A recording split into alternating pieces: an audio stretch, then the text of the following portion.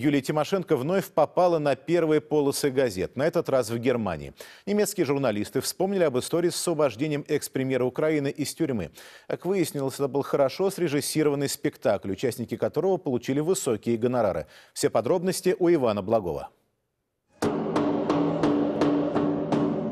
За этим реалити-шоу «За решеткой» следила вся Европа. Газовая принцесса скандалит, объявляет голодовку. И вот уже президент Германии Гаук отменяет свой визит в Киев. Всеевропейское осуждение президента Виктора Януковича. Эту музыку, оказывается, просто заказали. В этом здании находится офис пиар-компании GPRC, которая, как уверяют журналисты Шпигеля, и стоит за информационной спецоперацией по освобождению Юлии Тимошенко. Ну что ж, позвоним? Вот, GPRC ГМБХ. Звоним. Мы ищем господина Пановка. К сожалению, его нет на месте. На телефонные звонки неуловимый пиарщик тоже не отвечает. Мы дозвонились до его коллеги Игоря Побережского. Мы не даем. Пиарщики скрываются, вероятно, после того, как Шпигель опубликовал фрагменты их электронных писем. Там все, и что делали, и сколько это стоило, и кто оплачивал банкет. Работа началась уже спустя несколько месяцев после ареста Тимошенко.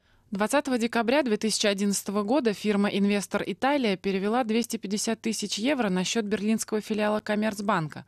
Вторая половина выплаты на ту же сумму по контракту должна была быть перечислена позже – Владельцем инвестора Италия долгое время был Арсен Аваков. Тот самый Арсен Аваков, который сейчас занимает пост главы МВД Украины. Эксперты говорят, то, что обнаружил Шпигель, это лишь часть большого коррупционного пазла. Можно вспомнить бывшего министра экономики Кабинета министров Тимошенко Богдана Данилишина, который был в розыске при Януковиче. Все эти люди довольно состоятельные люди, наворовавшие при премьерстве э, Тимошенко и таким образом желавшие защитить свои капиталы, в том числе и Аваков. Разыгрывать карту Тимошенко к тому же было выгодно. В 2012-м на Украине как раз были парламентские выборы. Деньги поступили, работа закипела. В течение нескольких лет об этом задержании говорилось, что Тимошенко обаятельный и невиновный политик, который отправил в тюрьму клептоман Янукович, и что Тимошенко на грани смерти. Ее дочь широко все это распространяла, активно распространяли и немецкие СМИ от бульварной прессы до федеральных каналов.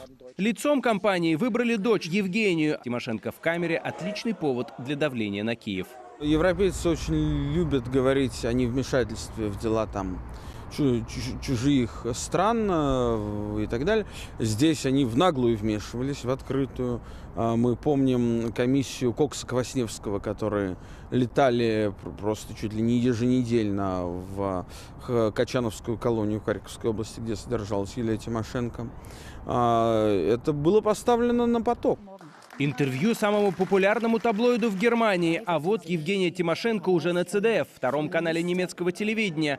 С ней даже встретилась канцлер Ангела Меркель. Но, конечно же, венцом кампании стал визит в камеру к несчастной узнице врачей клиники Шарите.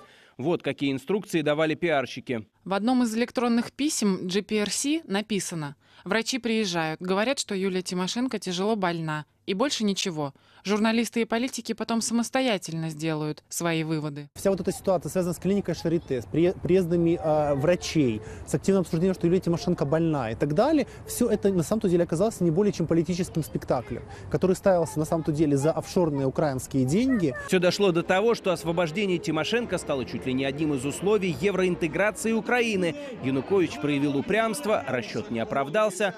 Но это если лишь верить в то, что организаторы пиар-компании действительно хотели освободить экс-премьера, а не потопить президента. Тимошенко вышла на свободу лишь после событий на Майдане. Тогда же выступила перед толпой, сидя в инвалидной коляске. Совсем скоро стало ясно, тем, кто так бился за ее освобождение, политик Юлия Тимошенко не нужна.